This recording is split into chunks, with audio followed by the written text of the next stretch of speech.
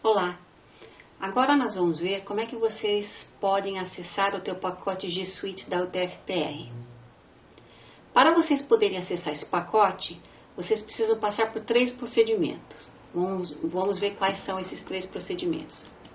Primeiro, você tem que certificar que vocês têm a senha única. Se você ainda não tem sua senha única, você entra em Esqueci Minha Senha, faz o login e pede uma nova senha. Ele leva 12 horas para ser validado. Uma vez de posse dessa senha única, você vai entrar no seu SEI com a mesma senha, no, no, no e-mail institucional, nos sistemas, tá? Então, primeiro, certifique-se de que você tem a sua senha única. Depois tem que certificar se os alunos têm o e-mail institucional deles, tá? Alguns alunos não tiram o e-mail institucional, então você manda um e-mail para eles, pedem por favor entrar no sistema e é, é, fazer um novo e-mail institucional ou um e-mail institucional.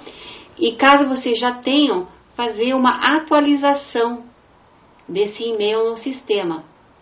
Por quê? Olha o que acontece. Muitos alunos colocam Outlook, uh, Gmail, Hotmail, UOL e esses Yahoo, tá vendo?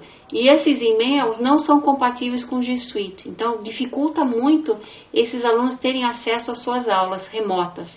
Então também tem que pedir para todos os alunos entrarem, fazer o e-mail institucional quem já não tem e atualizar o perfil deles no, no sistema.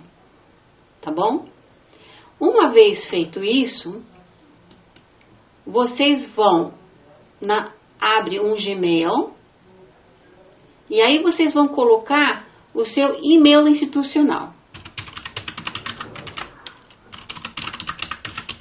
Acrescido da palavra professores depois do arroba. Então vocês devem, depois do arroba, colocar professores.utfpr.edu.br, tá bom? Então vocês utilizam o teu e-mail institucional acrescido da palavra professores ponto após o arroba e entra.